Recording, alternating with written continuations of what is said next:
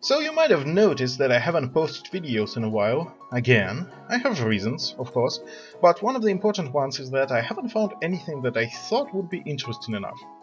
I do have a couple of scripts written, but I've never recorded the videos for them. Check the descriptions for more details on that if you are curious. But let's get to the main course. I've been watching Steve Shives' excellent, as always, series and atheist reads, namely his take on God's Not Dead by Rice Broocks and one section, to me, seemed to deserve a takedown of its own. In chapter 6, Rice provides a list of 10 alleged differences between humans and animals to... Actually, I'm not quite sure what his reasoning to do this was. The chapter's theme is about meaning of life, but it rambles on, unshackled by it in the slightest, shambling from topic to topic, mentioning Nazis and how the actions of Hitler can't be judged as evil in one place, and then talking about the gaps in the fossil record in another. From what I understand, the idea behind this list was to provide more or less objective evidence for the idea that humans were specially created by God. However, given what this supposed evidence is, it's quite clear that the goal was not to provide any sort of direct evidence for the idea of special creation, but rather evidence against the theory of evolution. Obvious false dichotomy aside, I do believe it is an interesting topic to discuss nevertheless. However, we should establish some ground rules beforehand. Uh, jumping ahead a little bit, all the supporting evidence in the next section comes from books, blogs and interviews, not from any scientific papers. Disappointed yet? Well, given that, let's establish our first rule. Since we're talking about the theory of evolution, Broocks can't just ask any random person on the street their opinion. It is the matter of science. An opinion of the specialist in the field while not conclusive evidence to anything by itself, is, at the very least, based on the actual knowledge. So, if we accept Broocks's poor standards, thus allowing non-peer-reviewed conclusions to be considered evidence, we should, at the very least, discount claims of non-specialists.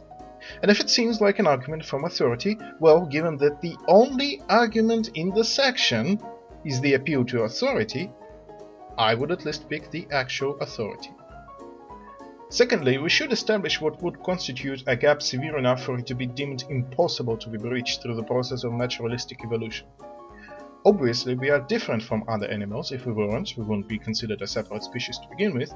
But we can't just pick anything that differentiates us from, say, chimpanzees and consider it sufficiently unbreachable evidence. So I propose a short checklist.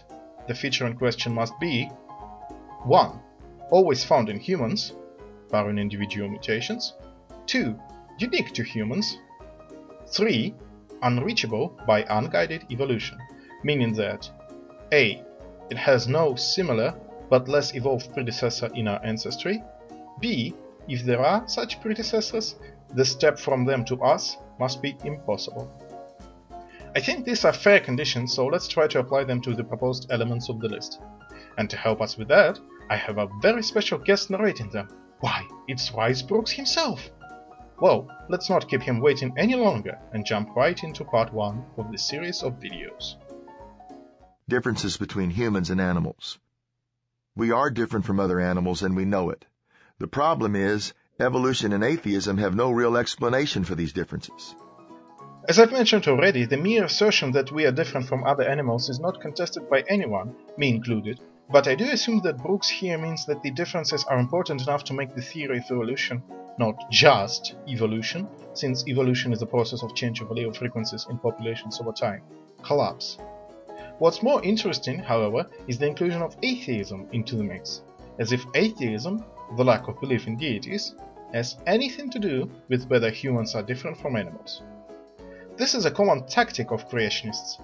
They merge the theory of evolution atheism, and, usually, cosmology and other fields of science they don't like, into some abominable amalgam they call evolutionism or something similar.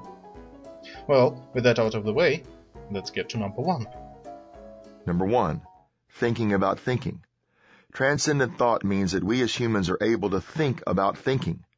It is called metacognition. It was 18th century philosopher Rene Descartes who said, quote, Cogito ergo sum, which means I think, therefore I am. As a result, we can ponder our condition from an almost objective position, to think about ourselves in comparison to others, to be self-conscious of our weaknesses and our strengths. This capacity allows us to be philosophical. It also allows us to think generationally, to demonstrate concern for our family lineage. This ability is beyond the animal instinct to care for their offspring. So, have you noticed how this jumps from one thing to another? Book starts with metacognition, which is one thing, and then goes on to talk about Descartes, self-consciousness, self-assessment over weaknesses and strength, capacity to be philosophical, and then finishes with concern for our family lineage, whatever he means by that in this case. Most of these things have nothing to do with metacognition. Metacognition, which is a real thing, is a word used to describe, in very brief and oversimplified terms, the ways in which a thinking agent chooses the correct strategies to learn and solve problems. So yes, it is partially about self-awareness of our strengths and weaknesses, but uh, that's about it. But is it a uniquely human trait? Some of the latest findings point that it might not be. For more than a decade now, there has been several experiments done on non-human animals that seem to indicate that they did, in fact, possess some level of metacognition. A 2010 paper by Couchman et al., for instance, was concerned with two groups of subjects, humans and rhesus monkeys, performing several tasks in ways that were designed to show whether they possessed the capacity to discern certainty from uncertainty, one of the hallmarks of metacognition. The results were, indeed, positive and while the authors acknowledge that this does not necessarily mean that rhesus monkeys are self-aware or conscious, it is a compelling evidence for metacognition in non-human animals. Other research has been done on great apes, birds and rats, but the results were less conclusive due to possibility of other factors not being ruled out. Regardless, the evidence from Couchman et al. seems to positively indicate that metacognition is not uniquely human, thus we cannot accept this difference. So let's move on to the next one, shall we?